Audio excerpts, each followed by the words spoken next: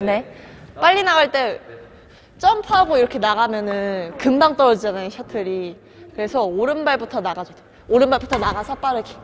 다시. 자세 좀 낮춰서. 자세 쓰지 말고 팔 먼저 마중 나가서. 하나, 둘, 셋. 하나, 둘, 셋. 발도 같이 스텝 맞춰서. 따다당. 하나, 둘, 셋. 근데 만약에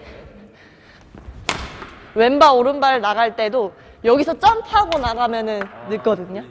네. 점프할 시간에 공 오면은 바로 오른발부터 나가서 빠르게 스텝을 밟아주는 거예요.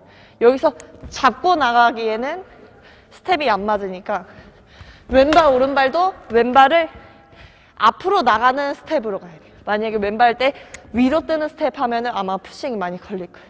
네. 백핸드는 항상 먼저 가야 돼, 팔이. 하나, 둘, 그러면은 발이 조금만 나가야 돼. 근데 마지막에 피게 되면은 몸도 많이 들어오고 팔도 위로 쓰게 되는 거예요. 몸이 많이 잡으면은 안 좋은 게 뭐가 있어요? 치고 끝이에요.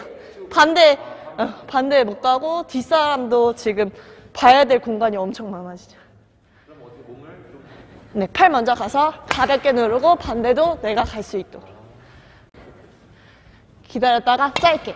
기다렸다가 손목을 미리 꺾고 누르는 것만 하면은 손목 스윙은 잘 되는데 스윙이 너무 커져요. 기다렸다 뺐다가 스윙. 기다렸다 한순간에 빼고 눌러줘야 돼요. 그 대신 발 닿고 나서 빼는 게 아니라 뺐다가 오른발 닿을 때는 앞스윙이 나와야죠. 하나, 둘, 셋. 기다렸다가 누르고. 팔 먼저 가고 스윙. 팔 먼저 가고 스윙. 하나, 둘.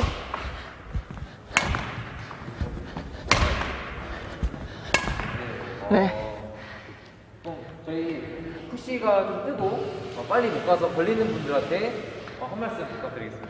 어, 몸 자체가 위로 뜨는 스텝 말고 걷는다 생각하고 부드럽게 나가야 돼요. 그냥 bounce 없이 가야 되는데 너무 위로 뜨는 스텝 하면 안 돼요. 공격이라 해도 부드럽게 갔다가 부드럽게 나가는 게 있어요.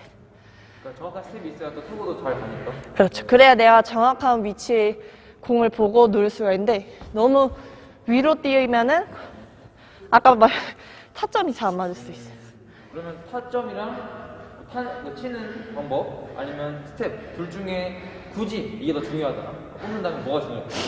어, 아 이거 치는 거랑 치는 거랑 다리. 치는 거. 치는 게 아 근데 아 근데 진짜 배드민턴은 팔이랑 발 운동이잖아요. 뭐가 중요한 말을 그렇죠. 두개 다 중요해서. 네. 아. 스텝도 중요한데 근데 오히려 스텝이 더 중요한 게 스텝이 더 어려우니까 스텝만 되더라도 공 맞추는 건 언젠간 돼요. 근데 공 맞추는 건 되더라도 스텝이 엉망이면 아마 게임 운영하기 아마 힘들 거예요. 오늘 들으셨죠? 여러분들 멋있는 점프 스매시, back clear 이런 것도 중요하지만 네. 더 중요한 이런 또 기본 스트로크 이런 게 돼야 또 멋있는 스매싱에 또 의미가 있지 않을까 맞습니다.